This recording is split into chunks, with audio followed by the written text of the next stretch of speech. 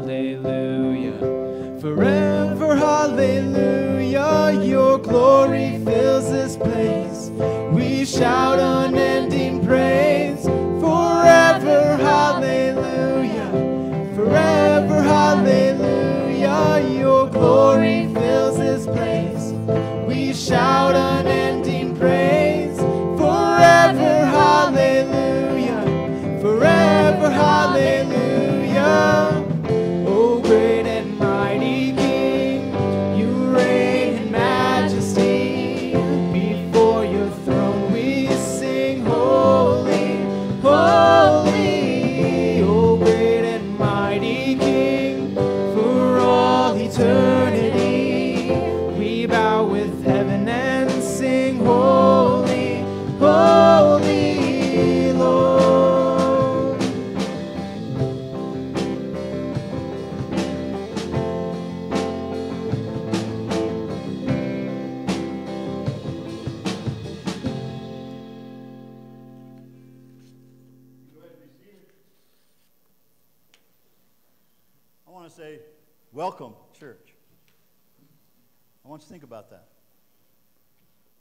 His church, his ecclesia, his called out ones.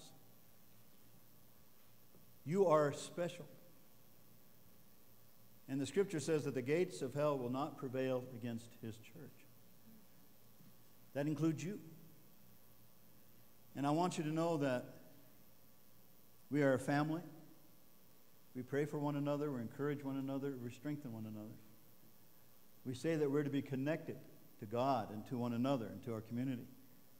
That we're to be contagious, but not just contagious, impactful with God and with one another and with our community. So we want you to, to think about those challenges that we have before us. We're glad you're worshiping with us on this Labor Day weekend. If you take your bulletin, there's a few things we want to highlight with you, some upcoming events, and things that maybe are not there as well. A Jerusalem travelogue is going to be next Sunday after the morning service. I want you to be aware of that. That is going to be over in the Evergreen Room. And then you'll see a flyer in your bulletin concerning the ladies' Bible study that's going to get started. I want you to know that they will have the current health mandates in place, but they also will finish their study of Gideon. So if you're interested in either that morning or evening study, uh, please just mark that and hand that, since we're taking our offering uh, at the back door, you'll make sure that you just place that in the offering plate uh, uh as well. And let's be praying. Uh, I don't know if you've seen the invitation that's going to come September 26, 2020. Franklin Graham's going to be having a prayer walk upon Washington. We may not be able to take a bus and actually go there, but we can certainly be praying for them. Some of you may want to take that trip out there, visit the nation's capital, and stand with them in prayer. But let's be in prayer about that. That's the 26th of this month. Let's bow together.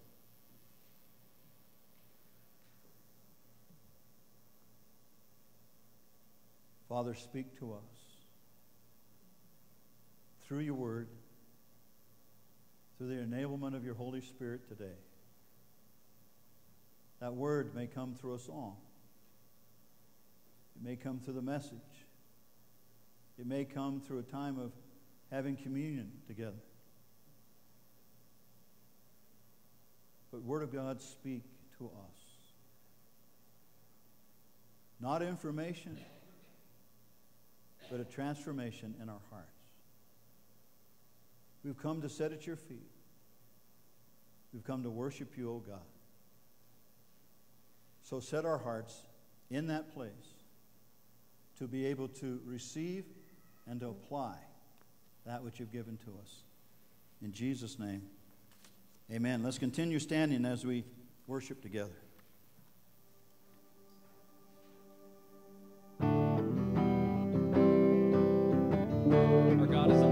Amen.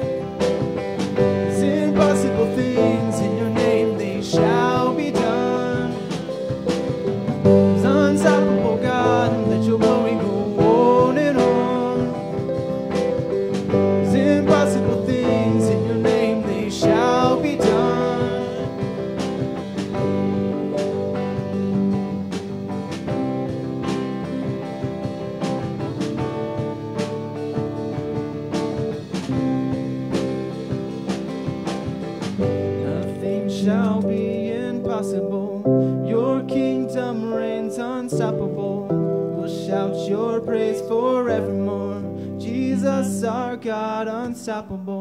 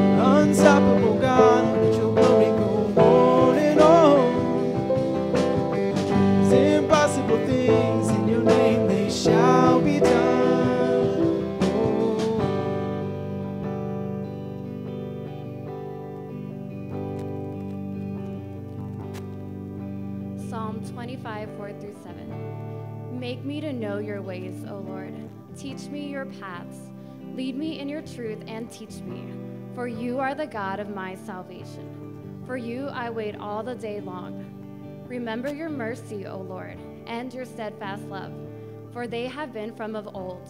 Remember not the sins of my youth or my transgressions. According to your steadfast love, remember me, for the sake of your goodness, O Lord. Lord,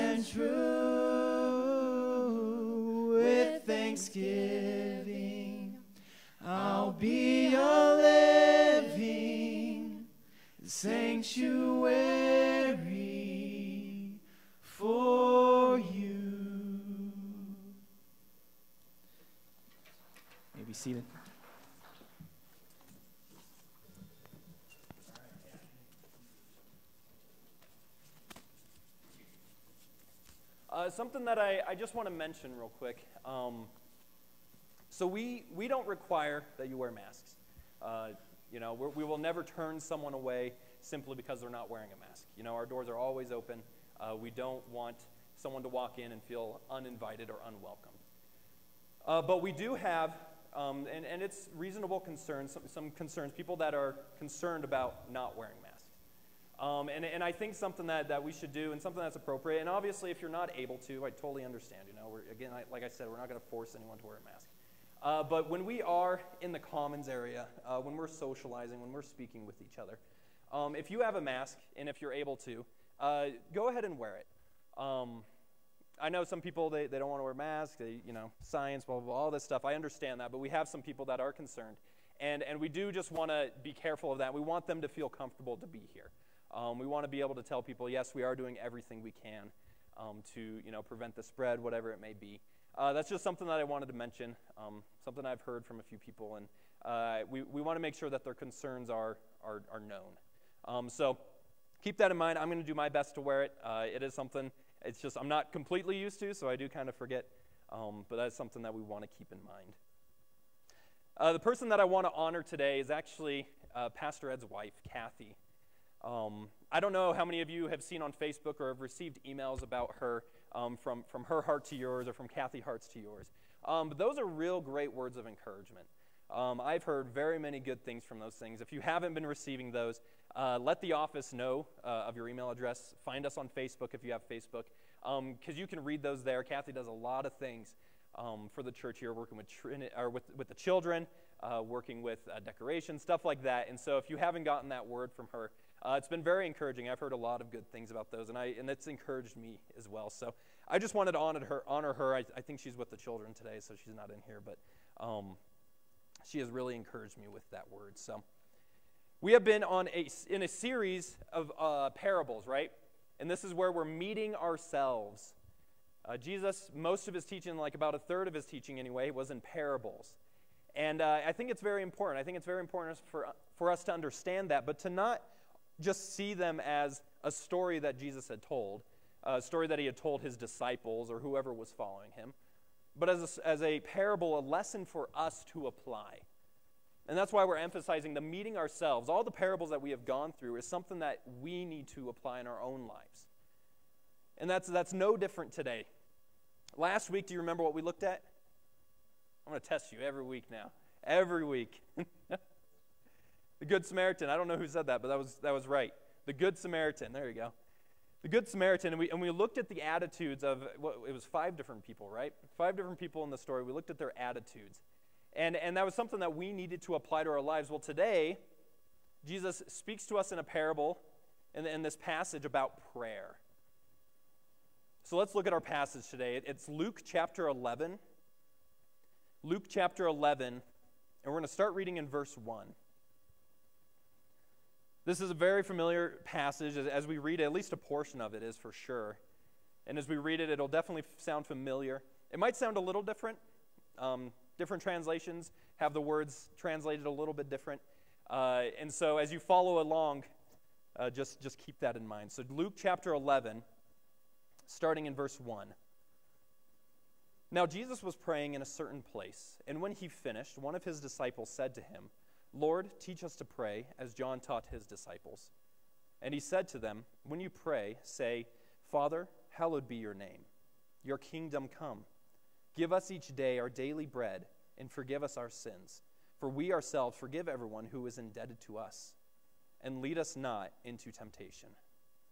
And, when, and he said to them, Which of you who has a friend will go to him at midnight and say to him, Friend, lend me three loaves, for a friend of mine has arrived on a journey, and I have nothing to set before him. And he will answer from within, Do not bother me. The door is now shut, and my children are with me in bed. I cannot get up and give you anything. I tell you, though he will not get up and give him anything because he is, because he is his friend, yet because of his impudence, he will rise and give him whatever he needs. And I tell you, ask, and it will be given to you. Seek, and you will find. Knock, and it will be open to you. For everyone who asks receives, and the one who seeks finds, and to the one who knocks it will be opened. Verse 11 What father among you, if his son asks for a fish, will instead of a fish give him a serpent? Or if he asks for an egg, will give him a scorpion? If you then, who are evil, know how to give good gifts to your children, how much more will the heavenly Father give the Holy Spirit? to those who ask him. Father God, I pray that you will open our spiritual ears today. Help us to hear your word and to understand it. I pray that the Holy Spirit would speak to us. God, in your word, you tell us when two or more are gathered in your name, you are present with them, God, and we acknowledge your presence today, Lord. Speak to us through your word, encourage us, convict us. Help us to correct and, and, to, and to just grow in love and knowledge of you. And it's in Jesus' name I pray. Amen. All right, so I'm going to be looking at this whole passage today. Uh, there, there's obviously the parable, and I, and I think there's a lesson within that parable, but I, don't, I didn't find that there was, what, 30 minutes worth of a lesson within that parable to me. But I also, as I was studying this passage and reading the context, I was like, this is a real emphasis on prayer in general. Uh, the disciples, they ask the Lord Jesus to teach them to pray. And so today, I, I want to remind us and, and to teach us how to pray, what Jesus wanted us to do as we pray. So today, we're going to look at the four P's of prayer. All right, I was a good pastor today. I'm using alliteration. So the four P's of prayer. And uh, knowing how I spell words, I probably spell prayer with four P's anyway. So the first one, the first P, is priority. The priority of prayer. We see that in verse 1. Now, Jesus was praying in a certain place, and when he finished, one of his disciples said to him, Lord, teach us to pray, as John taught his disciples. The first person that I want to point out with a priority to prayer is actually John the Baptist. John the Baptist. So in Matthew chapter 3, verses 1 through 4, we read In those days, John the Baptist came preaching in the wilderness of Judea Repent, for the kingdom of heaven is at hand. For this is he who was spoken of by the prophet Isaiah when he said, The voice of one crying in the wilderness, Prepare the way of the Lord, make his path straight. Now John wore a garment of camel's hair and a leather belt around his waist, and his food was locusts and wild honey. One of the first things that, come to that comes to mind when I think of John was John was a man's man, as they say, right? How they describe him here. He was wearing camel's fur and, and a leather belt, and he would eat locusts, and he was always out in the wilderness, just, you know, and, and as Isaiah said, he was preparing the way of the Lord. A lot of times we picture him as a man's man. A lot of times we picture him, as his name says, as a baptizer. He would baptize those, and, and, the, and what he would do is he would call those to repentance. He would call the people to repentance. He was the one that the Lord would prophesy that would bring people to the, to the, the, the, the grounds where Jesus would come. So he would prepare the way and say, This is the way that the Lord is going to be coming. So that was John the Baptist. But one of the things that I find here is that John the Baptist was a man of prayer. We don't read that a lot in Scripture, but I think this verse right here really does emphasize that. John was a man of prayers. His disciples, they would ask him questions, and I, and I imagine this. They would say, How do you survive in the wilderness? Man, how are you always out there? How, how, does, how, do, how are you sustained? Where do you get your strength to stand and, for what you believe? He would stand up against the Pharisees and Sadducees all the time. He would stand up and say, No. They would ask him, Are you a prophet? Are you Elijah? And he would say, No, I'm not. But he would say, I am the one that is preparing the way for someone that is greater than I am. See, it doesn't matter how strong or great you think you are, you still need prayer in your life. And that's how John was. John the Baptist, he was a, he was a man's man. He was very strong. He was very wise. When he was, when he was in the womb, he was filled with the Holy Spirit. But he still needed prayer. See, we will be nothing without prayer. No matter how strong you are, no matter how, how great you think you are mentally and physically, without prayer, we will, we will amount to nothing. So that's the first person that really put a priority on prayer was John the Baptist. He taught those that were following him how to pray. The second group of we, uh, people that we see that want a priority in prayer are the disciples. We see that when they say, Lord, teach us to pray. These men were with Jesus all the time, right? The, the very few moments that they weren't is when Jesus would go off by himself to pray. Sometimes we can give them a hard time, though, thinking that, you know what, if we were with Jesus, if we were with the Savior the whole time, we would probably do better than them, right? We would probably be like, man, if I was with, with Jesus all the time, whew, I would be a good Christian. You know, sometimes we give them a hard time, but what they needed to do is they needed to learn how to pray as well. These were great spiritual men, and they loved God and they, they loved their teacher. And see, they went on to lead many Christians, right? They went on all these missionary journeys all over the world. They planted many churches. See, I pray that my faith would be half as strong as, as many of these disciples. Man, they had a belief and, and trust in their Savior. But what they understood is that they lacked in their prayer life. They understood that that was an important thing that they needed. They were with Jesus and they witnessed him pray many, many times. They were also with Jesus and, and witnessed the miracles. They were with Jesus and they saw the crowds that Jesus brought. Right? Jesus was surrounded by so many crowds, he would go out onto a boat and he would just to separate himself so then everyone could hear. Jesus was surrounded, he was a great teacher. But one thing that they don't ask is they don't ask, Jesus, teach us how to do miracles. They don't ask, Jesus, teach us how to preach a great sermon, teach us how to be great teachers. What they ask is, Jesus, teach us to pray. Because what they saw in Jesus' life was that prayer was the most important thing to him. That before any of the decisions, before any of the tough things that happened in, in our Savior's life, he would pray, and the disciples saw that. The disciples, when you read the, uh, the later on in the New Testament, they could perform miracles by the Spirit, but yet they wanted to pray. See, even as the disciples, we need Jesus to teach us to pray. Prayer is so simple that the smallest child can pray, right? We ask children in, in children's church, you know, pray, and, and it's always, you know, to us, we're like, oh, that's so sweet and cute. You know, it's so simple that the smallest child can pray. But it is also so great that the mightiest man of God cannot be said to truly have mastered it yet. Prayer is an important thing to the disciples, and are we disciples of Jesus? Right? Are we?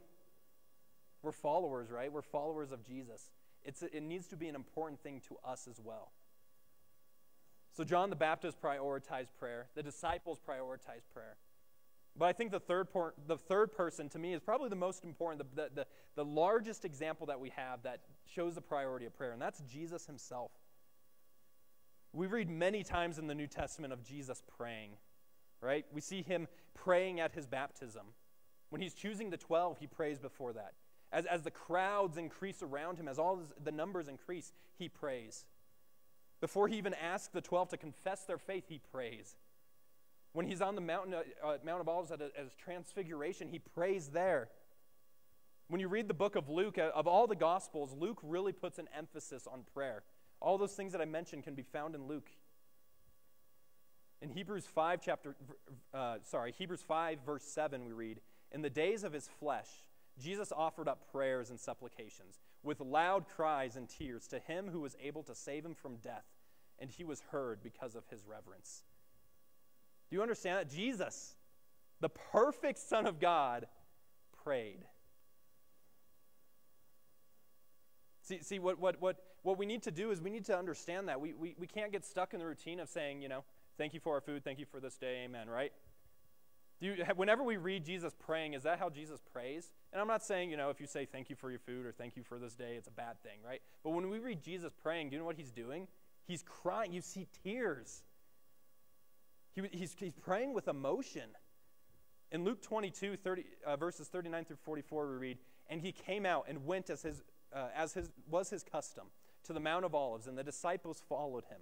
And when he came to the place, he said to them, Pray that you may not enter into tem- temptation. And he withdrew from them about a stone's throw and knelt down and prayed, saying, Father, if you are willing, remove this cup from me. Nevertheless, not my will, but yours be done. Listen in verse 43, ready? And there appeared to him an angel from heaven, strengthening him. And being in agony, he prayed more earnestly, and his sweat became like great drops of blood falling down to the ground. He was in prayer. Man, if, if, if, if, I don't know if how many of you have actually been in prayer like that, where you were in, in, in great distress, where you were crying out to your Savior. See, Matthew said he actually prayed this. He did this three times. Remember, he, he would pray and then he would go to his disciples and they were asleep and he would say, you know, you need to be awake. Be aware of the, uh, you know, of temptation. He would go back and he would pray this again. He would say, Father, if you are willing, please take this cup from me. He would do this. He did this three times and an angel would come and strengthen him. See, Jesus, although he was 100% human, he was also 100% God, and we need to find our confidence in our prayer. Jesus found his strength in prayer. But we have the gall to say that we don't need prayer. Now, I don't think any of you would say that, right? If I was to ask you, do you need prayer? I don't think any of you would say, no, I don't need prayer. But I think we say that with our actions. See, not every time we, we pray needs to be, you know, a, a great grand thing. But whenever we're making decisions, whether they're hard or easy, you know, whenever, whenever we are in need of comfort or an answer, do we turn to prayer? Or do we turn to friends, family, prescriptions, whatever it may be? Where do we turn? See, do we turn to prayer or do we turn to something else? Jesus, although being fully God, still turned to the Father in prayer. Jesus prioritized prayer. So I want to ask you have we prioritized prayer? In your own life, have you made it a priority that every decision, just a simple prayer towards God, whatever it may be, it doesn't have to be long, it doesn't have to be sweating drops of blood. but have we prioritized it still? So that's the first thing that I, I see in this passage is the priority of prayer in our lives. The second thing we see is a pattern of prayer. That's the second P, the pattern of prayer. We see this in verse 2 through 4. And he said to them, When you pray, say, Father, hallowed be your name, your kingdom come. Give us each day our daily bread, and forgive us our sins. For we ourselves forgive everyone who is indebted to us, and lead us not into temptation. So there is nothing wrong with praying this prayer.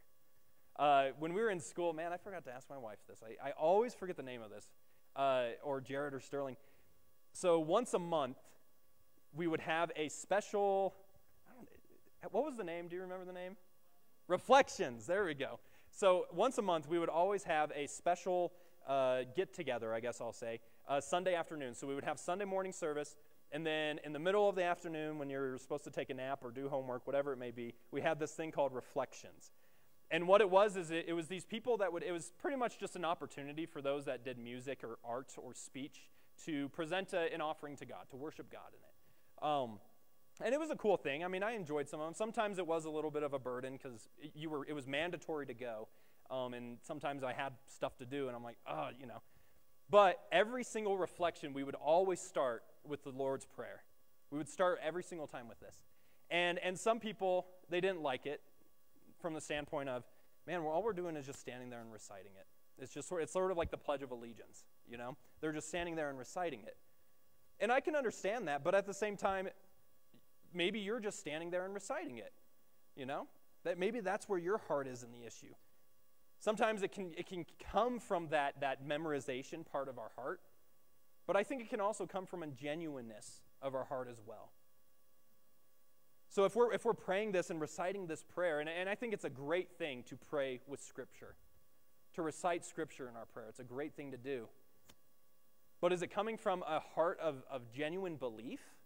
A genuine desire that these things are true in your life, or is it just something that God told us to pray like this, so I'm just going to pray like this? So that's something that I, I want to just bring up right now, is just to let you know, like, yes, if you want to pray this word for word, and it comes from a heart that, that you believe all these things that you're tra- uh, praying, then continue to do so. But I, I also want to see that I think it's more of a pattern and not a script. I think when Jesus teaches this, it's, it's more of a, a pattern and not really a script. We also see that Jesus teaches the same prayer on the Sermon on the Mount, but he changes it a little bit. Now, was Jesus messing up? Was Jesus, which one is right, you know? Which one are we supposed to say? I think Jesus' emphasis is the pattern because the pattern, even though the words are slightly different, the pattern is consistent with them. So I want to look at the pattern today. So when we pray, we can have this in mind. The first thing is when he says, Father, hallowed be your name. First thing we need to do is we need to approach him as his children. I've said it many times God's favorite name for him that we, that we could speak to him is, is the word Father. And I think the reason why is, or why I believe that is because Jesus tells us that. When, he, when his disciples ask, How do we pray? he starts with Father. And this, this prayer isn't Jesus' prayer from the standpoint of he never prayed this. Because if you read this, it says, Forgive us our sins. Jesus didn't need forgiveness from sins, right? What Jesus is doing is he's telling his disciples, these are the things that you need to do. And the first thing you need to acknowledge is that you are a child of God. You are a child of God. In Proverbs 15, verse 29, the Lord is far from the wicked, but he hears the prayer of the righteous. Being a child of God is a great thing. And it's not because we're righteous, right? It's not of our own righteousness. It's because we have been adopted by Jesus or into the family. We're joint heirs with Jesus Christ. And because of him, God sees his righteousness in our lives. In that verse that we just read, God doesn't hear the prayers of the unrighteous. He is far from the wicked, but he hears the prayer of the righteous. We have been adopted into the family of God, and we have been given the ability to call him Father. That's a great thing. And if we go into prayer understanding that, you know, Father in heaven, that's a great thing that we can acknowledge. Jesus, he's up there, he's interceding with us. He says, Hey, these are my brothers and sisters. These are their prayer requests. He's interceding for us. So that's the first thing we need to know is that we're approaching him as, as our heavenly Father. The second thing is it says, Hallowed be your name. Now, this isn't just a greeting. This isn't just saying, Father, who is holy. It's not just a God. This, I'm speaking to this God, not, not another God. This is the holy God. This isn't just a greeting. What this is, is this shows a prayer that is desired to bring honor to God's name. When we pray, it needs to be our goal to bring God, honor to God's name. And yes, in every single prayer. Sometimes, like, uh, how many of you know the song? I know we've sung it before, I Can Only Imagine. You know that song, right? I love that song. I like that song. There's a lot of truth in that song. We don't know our response in heaven, right? I, I, I exactly what it's going to be, but I know what it's not going to be. I know when we enter the throne room, when we, when we are in the presence of Jesus and God, I know our response is not going to be, all right, so what do I get? You know? Pay up. Right? I did all these good things. That is not going to be our response. Right? Our response is going to be, holy, holy, holy. Worthy is the lamb that was slain. We're going to see God in all of his majesty and all of his glory. You know, maybe we might dance, we might fall to our knees. I'm not sure exactly of what my body's going to do, but it's probably going to do some weird things, honestly, because we're going to be in the presence of God and, and see his greatness. So when we pray, that needs to be our desire. Our, our desire needs to be honoring God. Our prayer should be crying out for how awesome our God is. In Hebrews 4, verse 6, uh, Hebrews chapter 4, verse 16, we read, Let us then with confidence draw near to the throne of grace, that we may receive mercy and find grace to help him in time of need. God is great and a powerful being that we can call Father. See, holy is the Lord God Almighty, right? How many of you have said that in your prayer? Holy is the Lord God Almighty. The universe speaks of his glory, and yet it's just the hem of his garments. We read that in Psalm. It's an amazing thing. He is our Father, and we can confidently come to him in our prayers. That's an amazing, we need to be excited about that. And I'm talking about even like simple prayers. If we're right before dinner, you know, I always put priority of thanking God for food, doing all the, I'm trying to think of these things. Man, are you showing that honoring God's name in your prayers? Even the smallest prayers, we need to be bringing God glory. Does your prayer life reflect that? Now, I don't say we need to have lengthy prayers, right? How many of you have, have sat down at dinner and someone's praying before dinner and it was just like, whew, like you get the smell of food in your face and you're just like, man, we just wanted you to thank the, for the food you know, and it's just this lengthy prayer. They're reading like the entire book of Psalms. You know, they're doing this thing. How many of you sat there? It doesn't need to be a lengthy prayer, right? In Proverbs, we read that, you know, it's God is in heaven, we are in earth. Our words need to be few. Right? It's one of those things where we can honor God and praise Him for who He is with few words. So I'm not saying that we need to have lengthy prayers every single time, but where is your heart? See, are we thinking of the words that we're actually saying? Are we just muttering a prayer? You know, Derek, say grace before the dinner. Okay, thank you for this day. Thank you for this food. It's good. I hope. Amen. Right? Just, is it something that we're muttering, or is it something that we're actually praying from our hearts? So when we pray, let our heart's desire to bring honor to God's name. That's the first thing in our pattern of prayer is a heart to, a desire to bring honor to God's name. The second part, as we see in this prayer, is Your kingdom come. When we pray, we are seeking God's will in whatever the matter is. When we pray, we are seeking God's will. When Jesus was praying in the Garden of Gethsemane, was his request out of line? When he, when, he, when he prayed in the verses we read earlier, when he said it, Father, if there's any other way, please take this cup from me. Was that out of line? I don't think so because when he was praying, he said, But your will, not my will, be done. Yes, Jesus in, in his flesh, he, he understood the pain he was about to endure. He, knew, he knows what pain is like. But he still told God, you know, but I understand what's about to happen. And God, if there was any other way, please present that way. But your will be done, not my own will. Your will be done. He sought God's will and was obedient to that will. Warren Wiersbe says, It has well been said that the purpose of prayer is not to get, man, not to get man's will done in heaven, but to get God's will done on earth. Prayer is not telling God what we want and then selfishly enjoying it. Prayer is asking God to use us to accomplish what He wants us, what He wants, so that His name is glorified, His kingdom is extended and strengthened, and His will is done. I must tell all of my personal requests by these overruling concerns if I expect God to hear and answer my prayers. Often prayers can be turned into a me show, right? It's all about what your desires are, all about what you want. Father, I want this. I need this to happen. Give me this. I want this. And we can pray for our needs, and we'll look at that in a little bit. But when we pray, we need to be centered on the will of God and His kingdom. We must see the responsibility that He has given us on this earth as an honor. See, what God has done is He allowed us to partake in His will. If God didn't want you to, to, if you didn't have a purpose on earth, if you still weren't in His will doing things, guess what? He would, you would be in heaven. You will not die until God is ready for you to be off this earth. You are still part of God's will. We, we, we pray, Father, your will be done in my own life. In this request I'm making, it, it's a difficult season of my life, though, right? Jesus, he was in probably the, the darkest moment in his life. He was about to be betrayed by one of his followers. And yet he still asked God, Your will be done in my life. No matter the season, the time of life that we are in, we need to be praying for God's will. See, when we have a thorn in our flesh like Paul, and we ask for its removal, are we okay with what God's will is for us, though?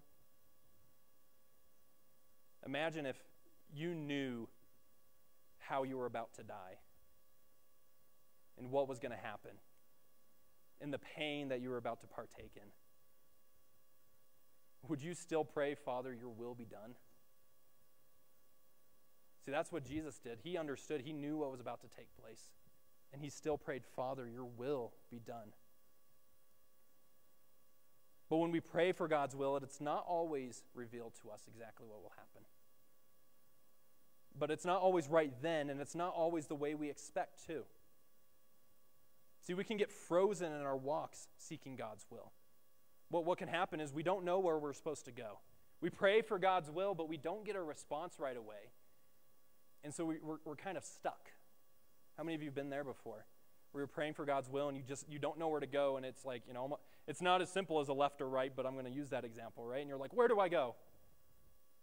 I don't think God really desires that. I think what God desires for you to do is to pray in His will. If you're seeking His will, make a decision. Because if you're seeking His will and you, you make a decision that isn't in line, guess what? His will will still come to, in, into fruition, right? He'll still guide you in His will if you're seeking to follow it. He doesn't desire that you get frozen and that you're stuck there, not able to make any decisions because you haven't heard from Him, right? He wants you to make those decisions, to follow His word, and that will guide you in His will. So many times, uh, sometimes I've heard people would pray, you know, God's will be done in the matter, but it's not really what Scripture has said before. It's like, you know, oh, I, I, I really, you know, God, if it's your will, let me marry this person. But it's an unbeliever, and God says in His Word to not be unequally yoked. It's one of those things where it's like, I think God is telling you His will already. Remember, we may not always like the answer that we get from God, but that doesn't mean that we shouldn't continue on the path of His will. And we'll look at why we need to continue on that path. In Proverbs 3, verse 6, we read, Trust in the Lord with all your heart, and do not lead on your own understanding. In all your ways, acknowledge Him, and He will make straight your paths. See, if we, if we trust in the Lord with all our heart and we don't lean on our own understanding, we're putting it in God's hands. And if we're acknowledging Him in all the steps that we're taking, He will guide your path. He will guide your path. And I, I had a lot of friends in college that didn't know what they really wanted to do, and they were, they were kind of waiting for a response. I, w- I was sort of one of those people. When, when I was in college, I was a business major, and I was seeking God's will after because I, I wanted to go into ministry, but I, I wasn't really sure where God wanted me to go. Well, my wife is from New Jersey, and there was a summer that I actually interned at a church in New Jersey. This church was great. I love this church. It was, you know, my wife went there her family goes there. There was a lot of people. I interned there for a whole month. I, I made good relationships. And when I started praying, you know, God, where do you want me to go? The youth pastor at that church actually left. So there was a position open.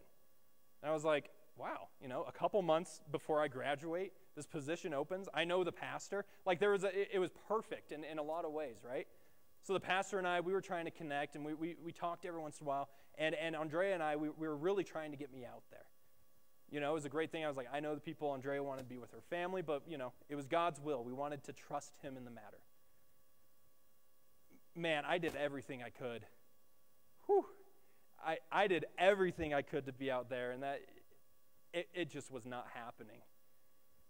And, it, and it's an amazing thing because it, it's, it should have. It, when you look at everything that was in place and, and, and, all the steps that were, that were being taken, it should have happened. But it wasn't in God's will, and and it didn't happen. That was the priority that I put. I put God's will over my own desires. And I see that now because God has placed me here. God has put me in a church family that I absolutely love being around, and I see his, his guiding steps along the way. So it's not always the answer you're expecting, but it, it will always be what's good for you, and we'll see that later on. So God will direct your path. When we pray, let our desires be focused on the will of God and on his kingdom. The last pattern in prayer that we see is for our physical and spiritual needs. We see that when, when Jesus says, Give us each day our daily bread, and forgive us our sins, for we ourselves forgive everyone else who is indebted to us. And lead us not into temptation. God wants us to ask Him for our needs. Now, it's not telling Him what we need, but we're asking Him for what we need. See, if I, I may tell, uh, tell God, I need a McDonald's cheeseburger today. There's some days I feel like I need a McDonald's cheeseburger. All right? Especially the fries. There's some days I'm like, I need those fries. But God's response may not always be providing a McDonald's cheeseburger, but it'll be providing a meal. See, God knows what's best for us and will provide it for us when we ask. And that's with our physical and spiritual needs. In prayer, we seek our daily provisions, forgiveness, and protection from evil. That's something when we pray, those, those are things that we need to be seeking.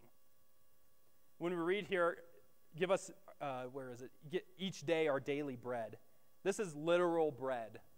I think some theologians try to really complicate and make everything super spiritual, but I believe this is literal bread. We ask God for enough to get us through that day. Right? If you woke up today, God has a purpose for it. And we're, yes, we're not even promised to the end of the day, but we are promised to be provided for what we need for the time that we have that day. God just wants us to ask for it.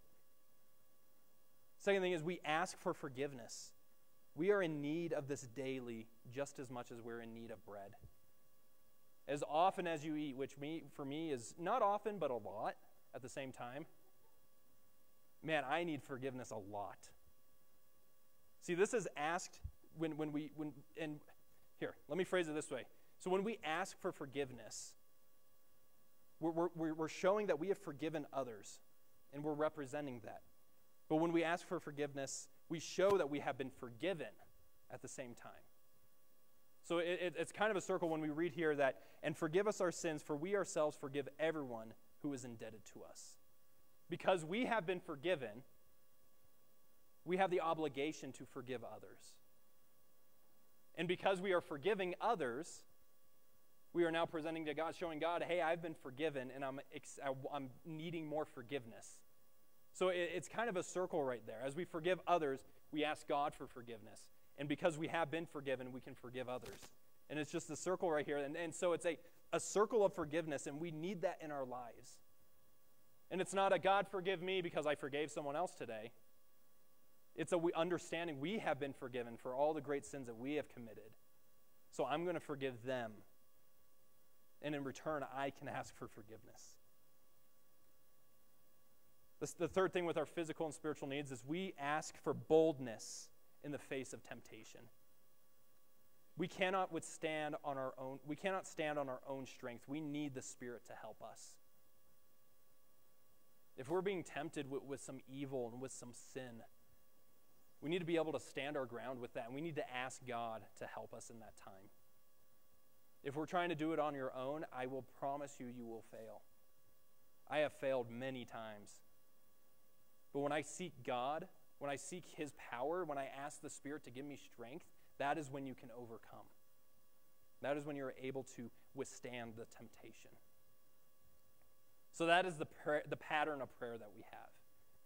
So the first was a priority in the prayer. The second one's a pattern. The third P is the persistence in prayer. Verses 5 through 8. And he said to them, Which of you who has a friend will go to him at midnight and say to him, Friend, lend me three loaves, for a friend of mine has arrived on a journey, and I have nothing to set before him. And he will answer from within, Do not bother me. The door is now shut, and my children are with me in bed. I cannot get up and give you anything. I tell you, though, he will not get up and give him anything because he is his friend. Yet because of his impudence, he will rise and give him whatever he needs. For everyone who asks receives, and the one who seeks finds, and the one who knocks, it will be opened. So finally, the parable, right? You're like, I thought this was supposed to be about parables. Well, we're there now. And I think, that, I think the context is important, though. So in those days, the family, they, they lived in a one room house. So when the, the man says, the children are in bed with me, the family all slept together. And a lot of times, what you'd see, and it wasn't always the case, you would see kind of a, a lifted area on the ground and then the floor. And the family, they would all lift they would all sleep on the lifted area, and then the animals that they owned would sleep on the floor. So this was a crowded place. They'd have animals and, and the children and the, the wife and whatever family lived in the house all in one bed. Sometimes, and I had heard it put this way, is the door would actually be blocked by animals and by people because they were just, that's all the room they had. So they would just lay wherever they could. What was going to happen, though, how many of you have dogs? And as soon as someone, someone doesn't even have to knock on the door or ring the doorbell, right? You, if you have a dog that just barks all the time or barks whenever someone is there, man, they go nuts, right? It'll wake up everybody in the house. That's the same thing. This man, what he's saying is like, we're already in bed. My children, my wife, were in bed. The animals, they're asleep. Please don't bother us. Okay? It, it takes 10 minutes just for me to open the door, right? Please don't bother us. It, it's, it's, a, it's difficult to get to bed. But what this man did, this man at the door, is he showed extreme boldness. The word here, uh, impudence, is translated as shameless. What he did is he came to his neighbor in the middle of the night, right? And that's kind of bold in itself, but back then, you know, people would travel at night, so it wasn't like too too weird to have a visitor at that time. But if you weren't expecting one, it was kind of weird, right? This man showed boldness. He went to his neighbor's house and he wasn't like, you know, like, hey, you awake? Bread, please? No, no, right? He was like, hey, I need some bread. We got a midnight traveler. I got some family. I didn't know. Hey, I need some bread. Just like along the side of the house, right? I imagine he kind of went up to the window and his neighbor's just laying there like, go away, go away. The family's already asleep. And he like goes up to the window and kind of peeks his head in. He's like, "Hey, got any bread?" You know, like he came with with great boldness. It, it was with shamelessness. He did, he didn't care. He was saying like, "Hey, I need some bread, and you're my neighbor." And especially in that culture, man, if you didn't provide bread for a neighbor, like there was like shame put upon you. So it's one of those things where like, oh, and so this guy knew he's like, he's my neighbor. He's got to give me bread. Right? He was he had great boldness. So, what's our lesson here? Is there a lesson that God is a grumpy neighbor who's asleep and we need to go pound on the gates of heaven just to get our prayer requests heard? Is that, is that the parable here? I hope you don't take it to mean that because it's not what it means. And in fact, I believe this is a parable of contrast. This is a parable of contrast. Our Father is loving, and He's always ready to answer us when we knock. He's always ready. But God often waits for our passionate, persistent prayer. God often waits for that. See, our persistence, it doesn't change God, but it changes us. It develops in us a heart and a passion for what God wants. Persistence in prayer is not an attempt to change God's mind. Remember, we're, we're praying that God's will be done. We're not praying that our will be done. But we need to pray to get ourselves to the place where He can trust us with the answer. Philip Brooks says prayer is not overcoming God's reluctance, it is laying hold of His highest willingness. When we pray and, and, and we, we pray with persistency, God knows our hearts. God knows when we're ready for an answer. God knows what the answer is. He's not ready and like, hmm, hold on, hold on, wait. I'm trying. To... He's not up there thinking, right? He knows what it, what his answer is, but he knows what our heart is as well. So we need to be persistent, but also let us pray with boldness. See, we're in the throne room of God, not as someone that's about to be punished, but as his children. He wants us to ask from him. He wants us to be in continual prayer with him. How many of you enjoy just, just talking with your children, right? Especially when they're young and they're just like excited about school and they have like, oh, and then we did this today, and then this, this kid fell in the sand and got sand in his shoe, and then, and then they took off the shoe and then the sand fell out. Like you hear all these things, right? It's just constant, continual stuff. And sometimes it could probably get annoying. But if you're there listening, right, and you just hear the child just talking to you, that's how God is. He wants us to be there. He wants us to talk to Him continuously. I think we may miss on blessings and even answers from God be- simply because we give up. We may pray, pray a couple times for a specific request, and we, we don't get a response right away or we don't see the answer, and so we just give up. See, God is, is he, he knows He wants to give us these blessings. But when we give up on our prayers, that shows our true desires. See, God knows your heart, and when you're ready for that answer, and it may not always be an answer that we expect, right? He may not always give you that Lamborghini. But when we pray, we show our desires for these things. I like to think of an example of a professional athlete. When I, I had a lot of friends, I never really had a desire to be a professional athlete. One, because I physically couldn't, but also I was just like, eh, you know, that, that's, that's not my thing. But I had some friends that really wanted to become professional. I had a, a friend that played hockey that actually was in semi pro hockey. Um, and then he had gotten injured and, and just wasn't able to continue, but he had a real desire to play. If I was to, to show up with my friend, okay, and we're both like, yeah, we want to be professional hockey players, okay, and we go to this training camp, and the person's like, okay, well, here's the schedule, you know, five days a week, five hours a day. This is the, this is the training that we do. And I show up the first week, five days in a row. Boom, same with my friend. We're doing these things. And then at the end of the first week, I go up to the trainer and I'm like, hey, am I pro yet? And he just kind of eyes me up and down. He's like, nope. Right? And while my friend, eh, you know, I, I, get a little discouraged, my friend's like, yeah, you're obviously not pro yet, right? So the next week, I, I show up three days in a row. And then I ask him, like, hey, am I am I a pro yet? Like, I've, I've, I've done this for eight days now. And he's like, No, you're not a pro yet. So the next day, I, I show up late. And the week after that, I don't even show up. Right? I lost, I lost that persistency. And what, what had happened, it showed my true desire. If I just stopped, if I quit, I'll never get that answer. And it may not be, I may not become a professional. But my friend who, who strived, who put in the time and the effort and that was always persistent, he will get an answer. Right? If he pushes to the end, he may become a professional. He may uh, get an answer to that request. See, that's what we need to do with our prayer. Be in persistent prayer, like, Father God, I need answer to this prayer. And, and it's not always a need, right? It's all, not always a me, me, me. Sometimes it's a, you know, Father God, I, I need some money this month just to pay rent. You know, and we, we, pray, we pray those prayers, but are we, are, is that our true desire that we want those funds from God? Or are we putting our trust in ourselves? See, not everyone that, that, that continues in prayers will always get the answer that they are expecting. But it'll always be what is good for them. Again, I say, I say we'll look at that in a little bit. If you have not received an answer to prayer yet, keep praying. Keep praying. And sometimes, like I said, the answer may be no, right? If you haven't received an answer, if there, if there hasn't been a no, if that door hasn't been shut, keep praying. God wants you to. Verse 10 says that th- these verbs, when it says to knock, eh, or to ask and to seek and to knock, these are continuous verbs. It says keep asking, keep on seeking, keep on knocking.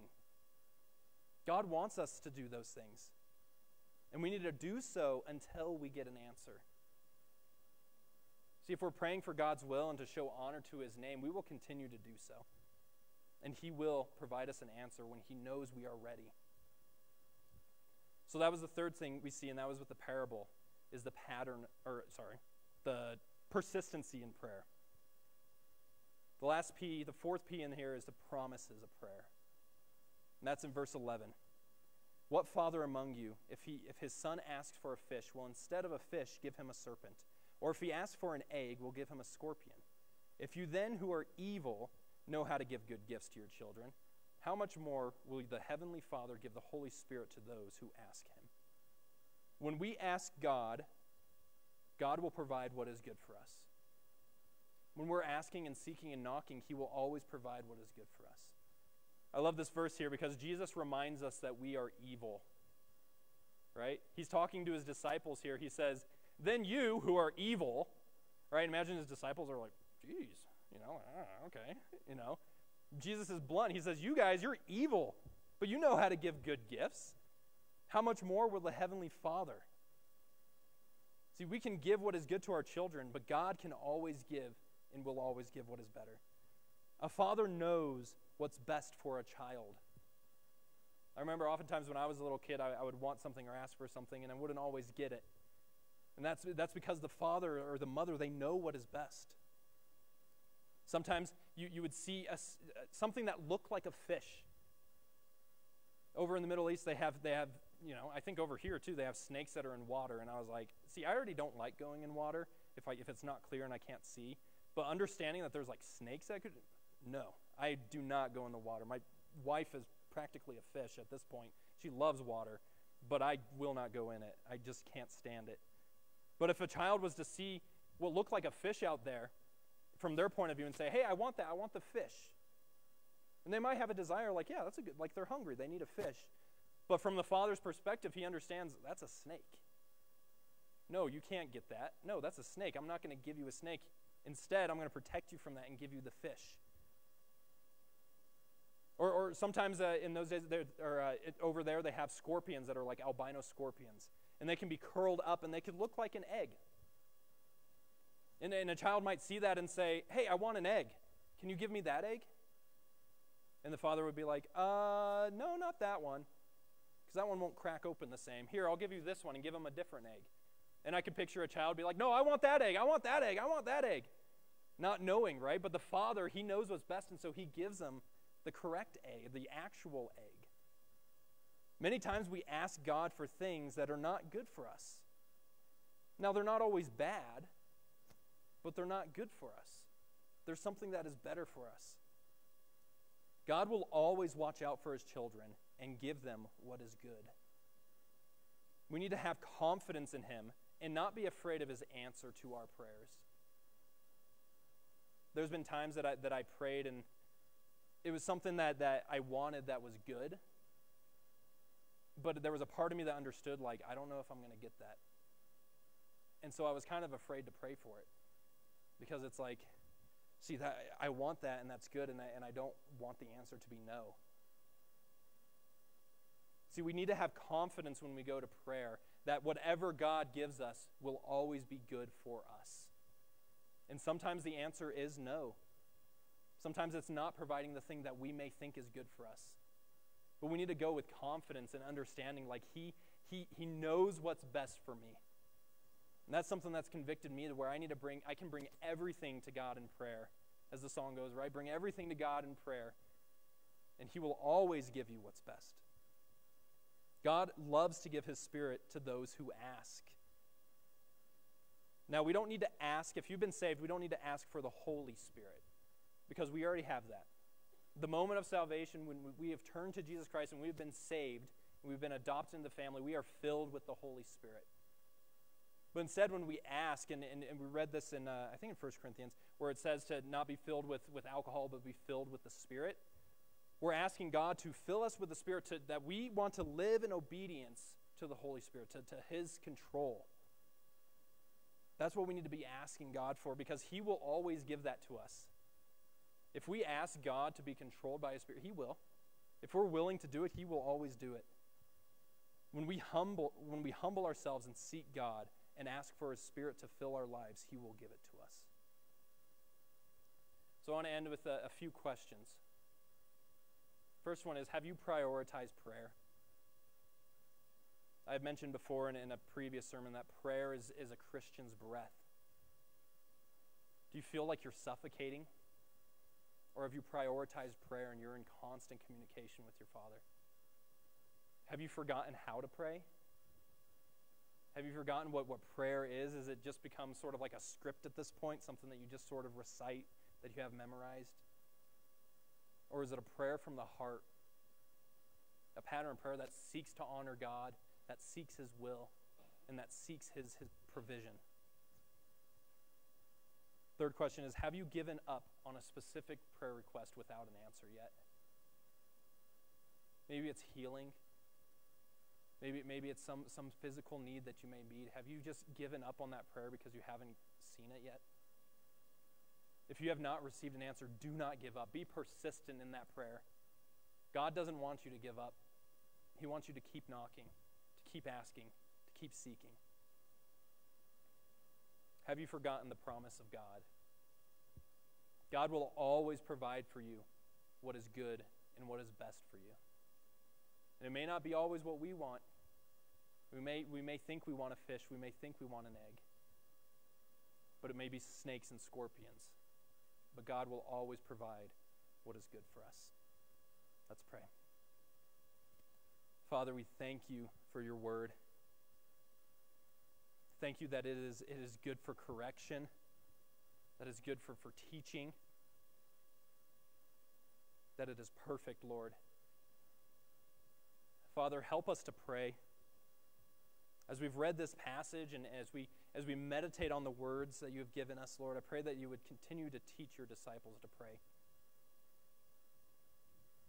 Father, help us to honor you. Help us to seek your will in our prayers. Father, help us to be persistent. Help us to be, to be shameless and, and to come to you boldly. And Father God, help us to not forget the promises that you have made to us, that you will always give us what is good and what is best for us. Pray that you will protect us and bless us through this week and, and give us wisdom and eyes to see those that are in need. And it's in Jesus' name. Amen.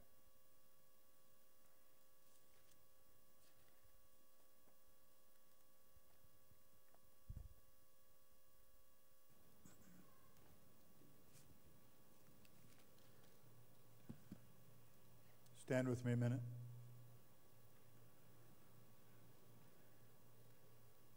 Ask God to prepare your heart for this Lord's table. Just in silence, just ask God to prepare your heart.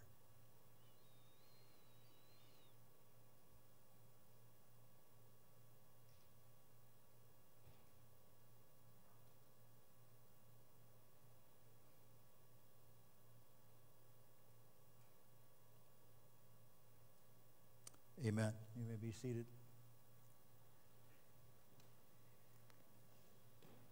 So here we are again. Another communion.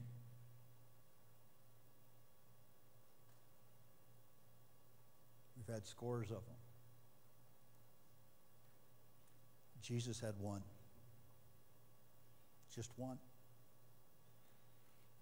1 Corinthians 11 says, The night he was betrayed. He took bread. Said, This is my body. Then he took a cup. And this is my blood. Why breaking of bread?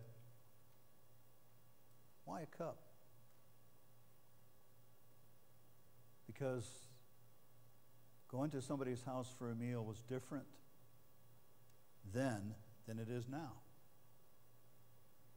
When you broke bread, you were saying, I'm covenanting with you as a friend, as an ally. Jesus broke bread for us to be our friend, to be our ally. And then he took the cup, which represents his blood given in sacrifice. So we cannot come lightly to this table. You must come understanding the covenant every time you're entering into. He's your bread. He's your sustenance, He's your life.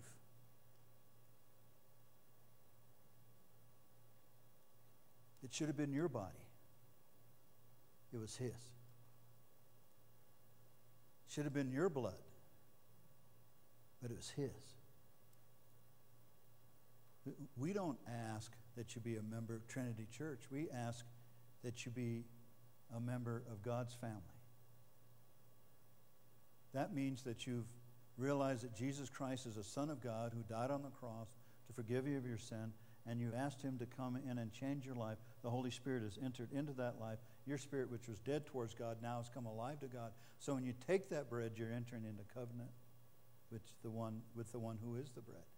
And when you take that cup, you're in covenant with the one who has given his life for you. I'm going to ask the gentlemen to come. We're going to dispense the bread first. They're going to come to you individually. There'll be in individual cups.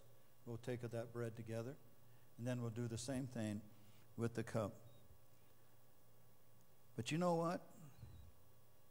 Jesus only ate this one time.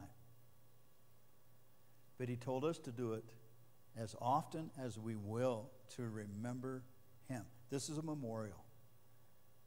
But guess what? The second time he's going to have this with us will be the marriage supper of the Lamb. Until that day, we remember him with this bread and with this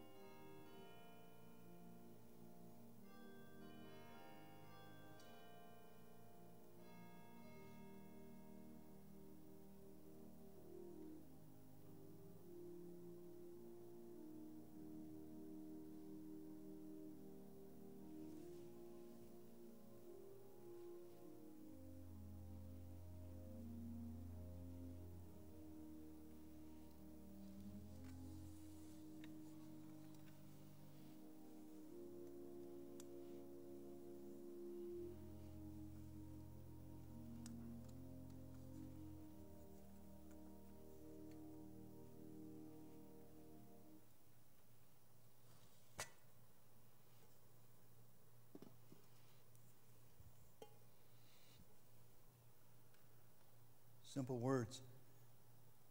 Take, eat it. He could offer it. They had the choice to take it, to be in covenant. You have the same choice. Take, eat. This is my body given for you. This do in remembrance of me.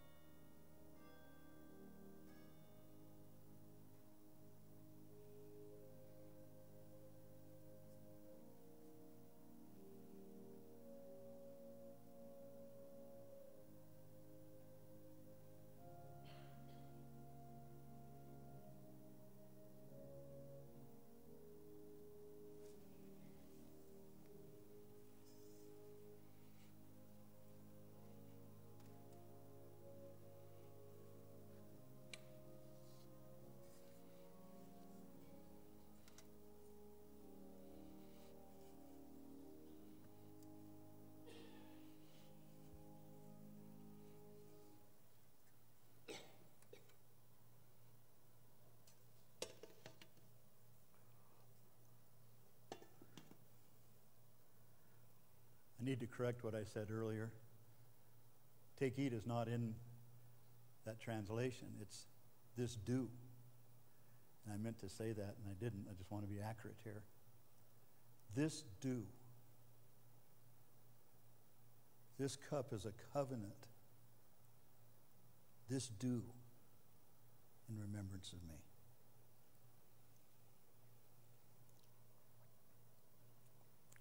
Want to remind you as you leave here today, we'll be taking our normal tithes and offerings in one plate. Another will be for the uh, Helping Hand Fund that goes through our Care Commission to help to those that might be in need. So be aware of that. Also, I want you to stand because we're going to continue to worship. We'll have our last song of worship today. You know, it says that after they had broken the bread and done this in the, in the upper room, they departed. Before they departed, they sang a hymn. So let's stand together and uh, let's sing together as we close our worship service.